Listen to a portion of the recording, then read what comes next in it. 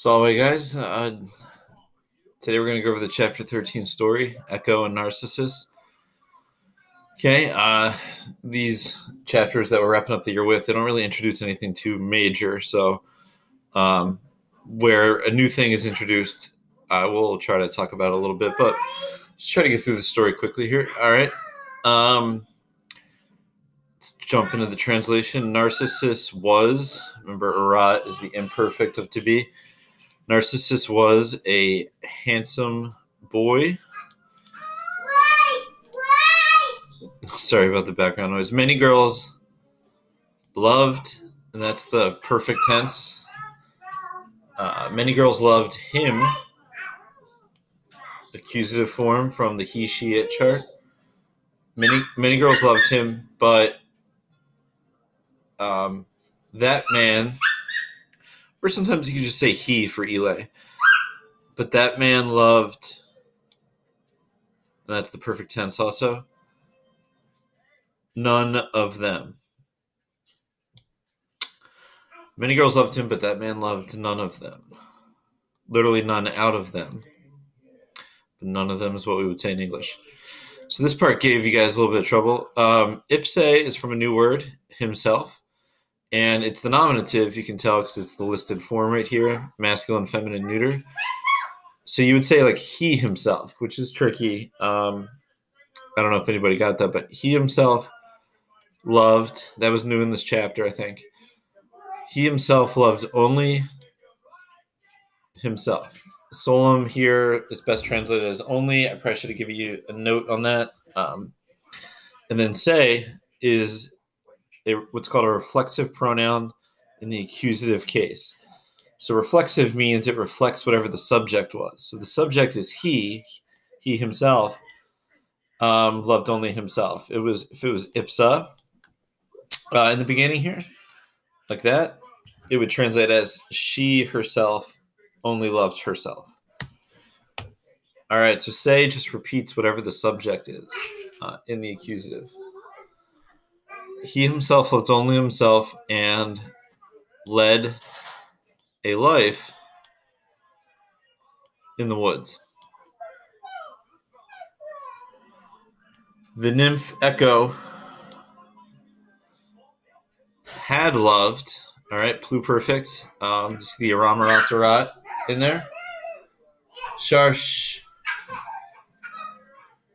The nymph Echo had loved Narcissus for a long time. But and then this part was tricky. But sh- hold on, I gotta pause here.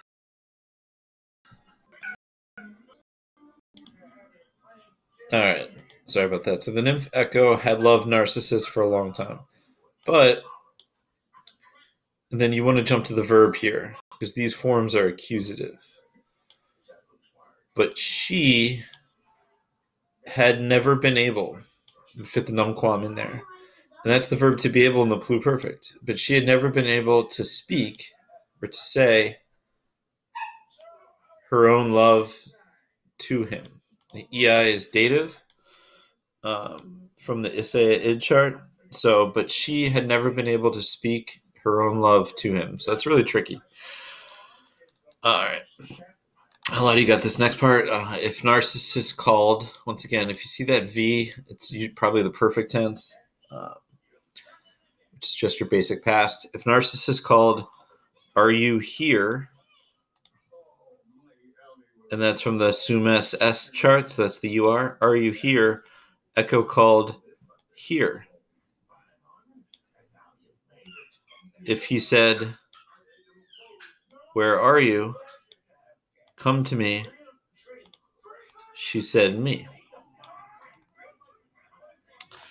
Um,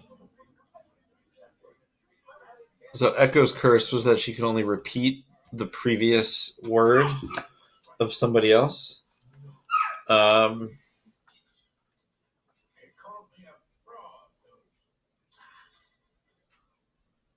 yeah, I think that part I left out. So pretty important. Uh, plot point. But I think yeah, there was supposed to be a, more of this sentence, and it was like she was only able to repeat um, the last word of another. But you guys did the Edpuzzle, so you kind of know what her deal was. She was cursed uh, that way by Juno, I believe. All right, so um, so if Narcissus called, "Are you here?" Echo called here. If he said, and this is from he. Okay, I'm gonna have to pause here real quick. Sorry. All right. Um, so if he said, Where are you? Come to me. She said, Me. All right. Uh, but Narcissus did not come to her. And Echo did not live.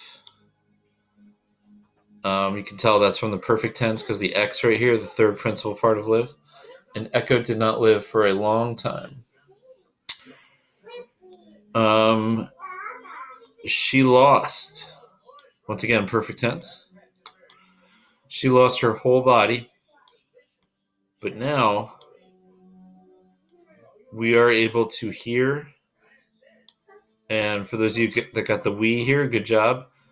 Um, but now we are able to hear her voice and es is the genitive the voice of her or her voice. But now we are able to hear her voice. Meanwhile narcissus saw himself in the water. There's that se again just repeats whatever the subject is. Meanwhile narcissus saw himself in the water and was not able to turn away his eyes. All right, suos reflexive kind of adjective, literally his own eyes, but you could just say his eyes. And nurse, and he was not able to turn away his eyes. Uh, okay, gave you superabatur. He was overcome by a great love of himself. All right, I just translated that for you. He was overcome by a great love of himself. Time flies. Or time flees literally, but that's the origin of the term time flies, um, which I think was one of our Latin phrases of the day. Not sure. All right, Narcissus remained, and that's the perfect tense again, because you can see the third principal part here. Narcissus remained in the same place. All right. Um, let's try to see if you guys could figure that out. Both these words go together anything with dem on the end means the same.